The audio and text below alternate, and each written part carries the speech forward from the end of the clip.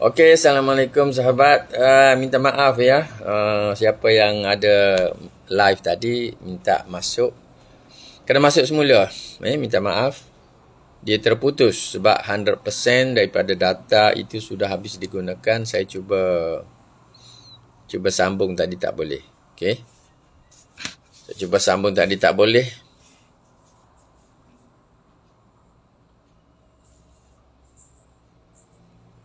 嗯。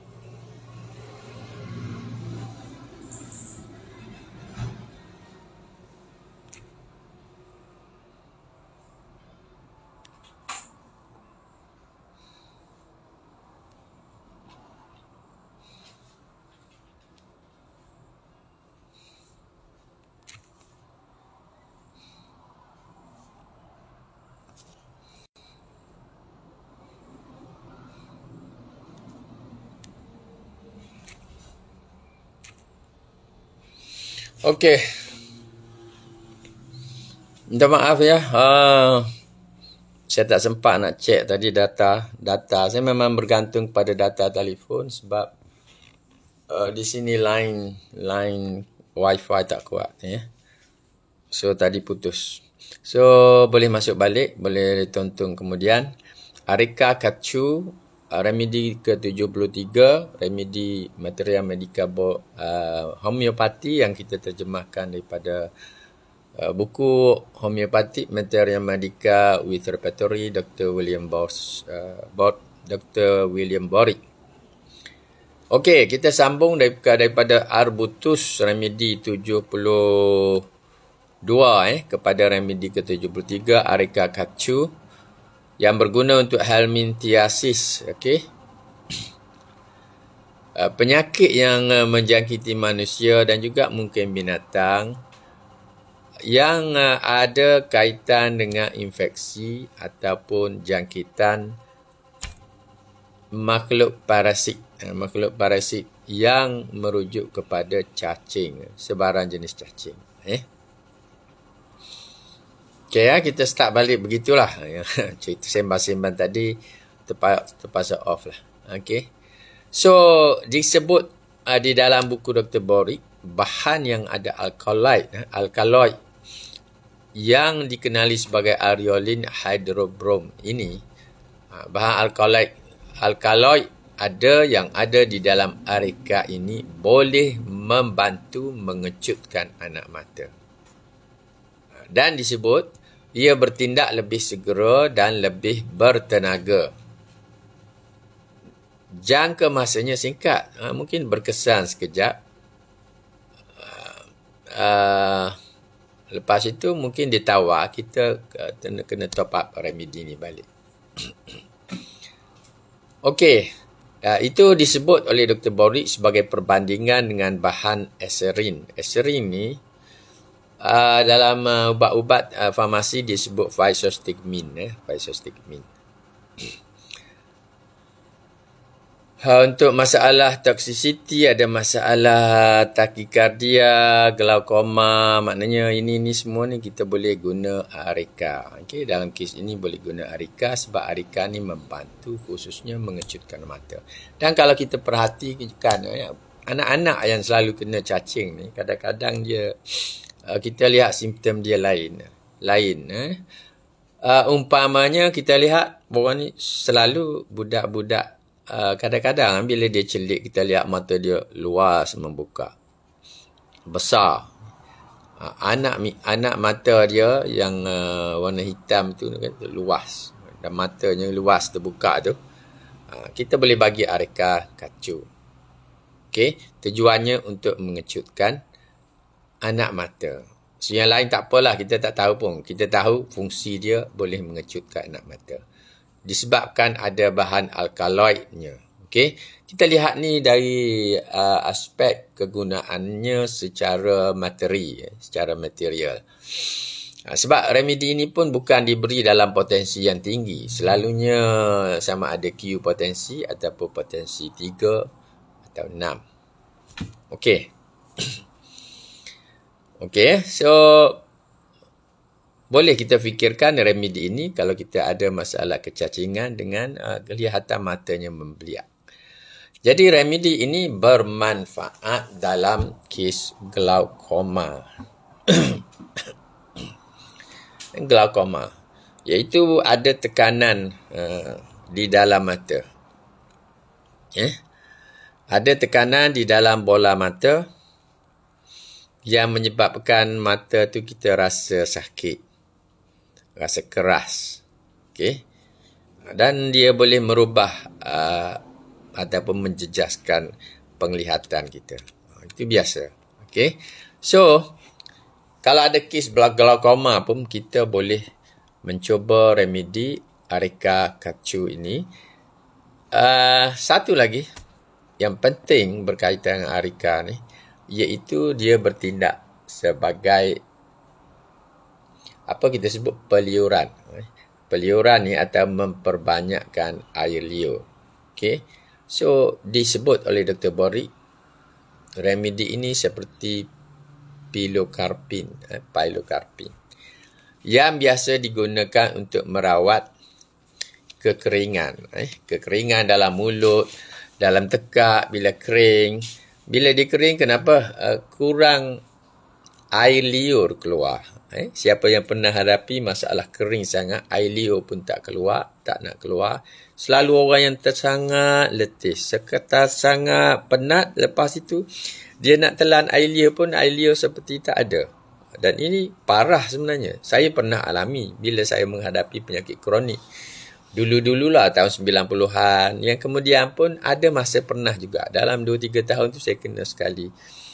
Nak telan air liur tu, eh, air liur pun tak cukup ada. Jadi sebab itu saya kadang-kadang saya simpan uh, gula batu dalam kereta. Dulu-dulu saya kerap simpan gula batu. Bila hampir tak ada air liur, saya ambil gula batu. Uh, ataupun kata kalau ada uh, gula-gula pun tak apa juga kita kemam supaya membantu mengeluarkan uh, air liur. Dan dikatakan arka kacu ini uh, bertindak sebagai salivatory. Eh, okay? Kita terjemah salivation tu, salivatory bahasa Inggerisnya, salivatory juga kita melayukan, ada dalam Dewan Bahasa. So, ia membantu mengeluarkan air liur. So, kalau kita kekeringan, uh, boleh guna. Eh? Bagus. Turut uh, membantu meningkatkan amplitude denyutan jantung. Okey. Apa maknanya ni? Maknanya dia membantu untuk membesarkan kawasan uh, arteri ke uh, yang menghala ke jantung itu. Uh, maknanya ada keperluan kepada pengisian jumlah darah yang banyak. Okey. Dan ia mungkin juga boleh menyebabkan uh, blood pressure atau tekanan darah kita ini naik. Bahagian systolik lah. Bahagian systolik blood pressure dikatakan boleh boleh meningkat. Okay, tapi disebut oleh Dr. Bori, ia meningkatkan amplitude denyutan jantung. Okay. Dan juga menggalakkan contractility intestine. Maknanya ia membantu intestine ataupun uh, usus kita untuk contract. Untuk mencerut. Kontrak ini kita tahu ia membantu untuk mencerut contractility ataupun pengecutan, ha, pengerutan, membantu untuk mengecut. Dia tidak sebut uh, membantu uh, peristalsis. Dia tak sebut begitu. Biasa setengah remedi disebut membantu peristalsis supaya lebih berkesan. Di sini untuk membantu untuk mengecutkan. Okey. So itu sangat ringkas remedi ini, sangat ringkas remedi ini adalah baik kalau kita boleh search sedikit search sedikit uh, potensi apa yang digunakan eh, potensi apa yang digunakan untuk remedi yang diberi tahu secara ringkas ini. Okey, umumnya uh, potensi herba lah Q potensi. Tapi kita perhatikan juga apa yang disebutkan oleh J.H. Clark mengenai remedi ini ada dalam buku uh, Dictionary of uh, Practical Material Medica oleh JH Clark. Dia sebut kegunaan areka ini satu untuk helminthiasis tadi kita sebut uh, penyakit yang berhubungan dengan uh, parasit cacing. Yang kedua disebut berguna untuk myopia. Ha, ini disebut oleh Dr. Clark secara klinikal kes myopia boleh sesuai dengan remedi ini. Apa itu myopia? Rabun jauh. Kita boleh lihat dekat tetapi yang jauhnya tidak jelas kabur, kelabu. Saya pernah saya sendiri tak pernah guna remedi ini dan saya pun ada masalah kekaburan pandangan jauh. Dekat ni saya tidak ada masalah. Seperti saya cerita ya. Saya dulu rabun dekat teruk juga tapi saya guna uh, spek apa ni saya cuba uh, dengan remedi tak boleh so saya guna spek Ibn Sina yang berlubang-lubang tu. Uh, disebut spek Ibn Sina dah. Alhamdulillah baik untuk saya. Saya boleh membaca tanpa menggunakan spek. Walaupun uh, ada juga beberapa nilai power dia lebih kurang 90 ke begitulah. Dulu saya teruk dekat 200. Uh, tapi maknanya spek itu membantu saya juga. So myopia ni rabun jauh. Saya ada rabun dekat dan juga ada rabun jauh. Sekarang rabun dekat uh, tidak bermasalah. Saya boleh baca surat khabar semua. Cuma rabun jauh saya masih bermasalah.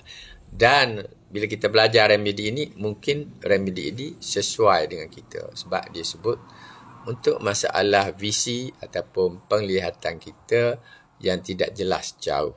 Yang tidak jelas jauh. Okay. Juga disebutkan oleh J.H. Clark ini kegunaan dia seperti Dr. Boric tadi kita sebut untuk salivation. Maknanya untuk peliuran ha, menggalakkan pengeluaran air liur.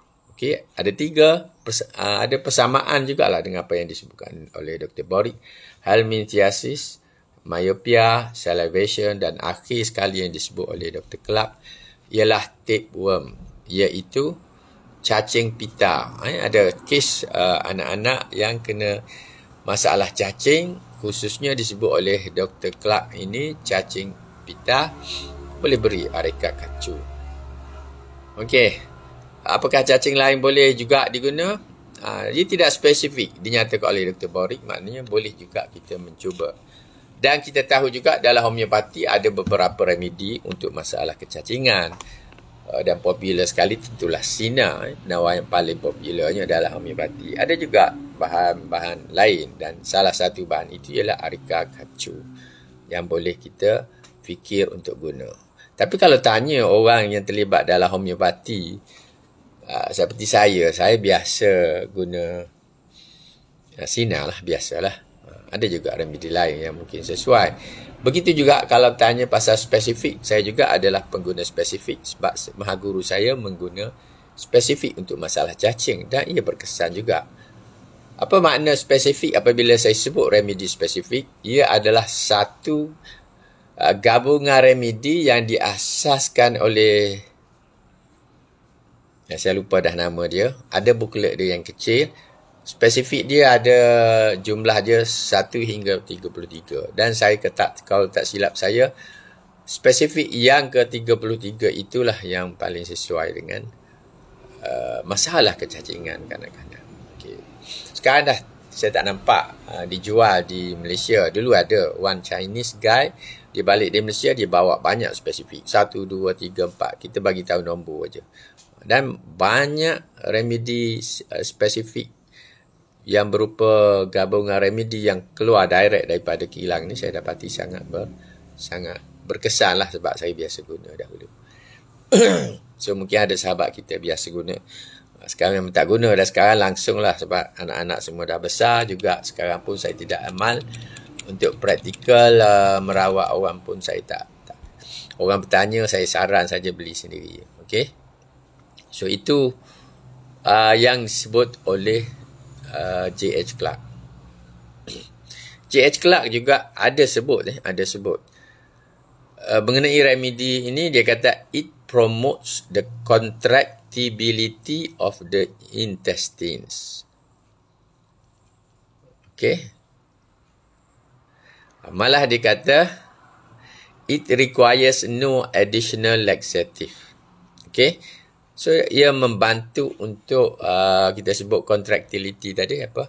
Pencurutan, uh, pengecutan bahagian intestine maknanya walaupun dia tak sebut tapi bila dia sebut it requires no additional laxative. Laxative ni bahan yang boleh membantu untuk kita buang air. Maknanya paras peristalsis itu berjalan sekali lah bila dapat dapat kontrak itu peristalsis tu berjalan sekali peristalsis ya kita belajar uh, biologi kita tahulah maknanya uh, intestine kita itu dia bergerak eh? bergerak dia perlahan-lahan uh, menurunkan najis sehingga dia boleh dikeluarkan daripada badan itu tindakan peristalsis lah yang memain peranan tu laxative ini membantu dan kalau ikut Dr. Clark promotes contractibility ini juga merujuk bahawa remedi ini boleh membantu pergerakan peristalsis lah walaupun Dr. Borik tidak menyebutnya.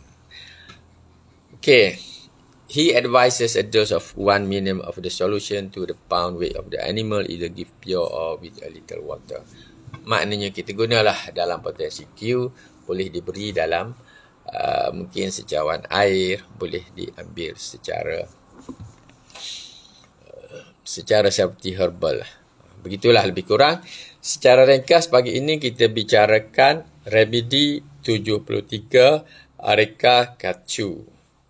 Okey, so saya ringkaskan JH Club menyebut kegunaannya untuk helminthiasis, untuk myopia, untuk rabun jauh, untuk salivation, peliuran, untuk tapeworm, uh, cacing pita. Okey, ataupun yang disebut oleh Dr. Borik, dia kata untuk helminthiasis, untuk membantu mengecutkan mata, yang kedua. Dan yang ketiga, dia sebut bermanfaat, boleh guna untuk masalah glaukoma, ada tekanan dalam bola mata. Juga uh, yang keempat disebut sebagai untuk peliuran. Ini yang Dr. Borik punya, eh? sebagai perbandingan dengan Dr. Clark tadi. Juga ia meningkatkan amplitude jantung. Okey, keupaya untuk menambah darah. Eh. Dan uh, yang akhir disebut untuk contractility intestine ataupun usus-usus kita.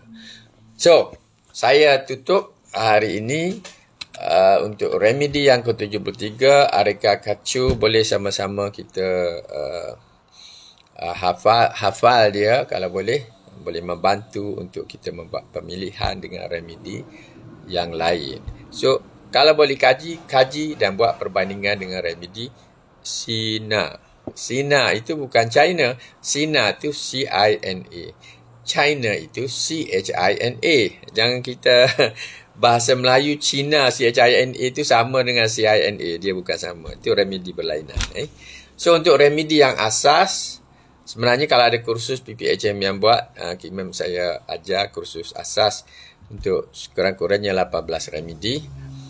Uh, banyak lagi asas seperti ada yang kita rujuk dalam buku uh, Alan Skindut lebih kurang 160 ke 170 remedi. Sebenarnya yang merupakan remedi yang besar, remedi besar homopati. Yang lain itu kita anggap sebagai remedi-remedi rare yang jangan digunakan tapi bukannya tak berguna. Ada masanya berguna. Itu saja daripada saya untuk hari ini hari Sabtu. Hari ini saya kena pergi jemput anak saya di Seremban KPJ Seremban. Dia ada kursus farmasi. Sudah tamat hari ini. Kuliah eh? bukan kuliah praktikal farmasi. Saya kena pergi ambil pagi ini so, sebab itu saya siaran pagi pada hari ini. Mudah-mudahan apa yang saya sampaikan ini membawa manfaat kepada sahabat semua juga memberi ilmu sedikit kepada saya untuk rare remedies. Itu saja Mudah-mudahan uh, anda semua dalam keadaan uh, mendapat dalam rahmat dan uh, barakah Allah Subhanahu wa taala.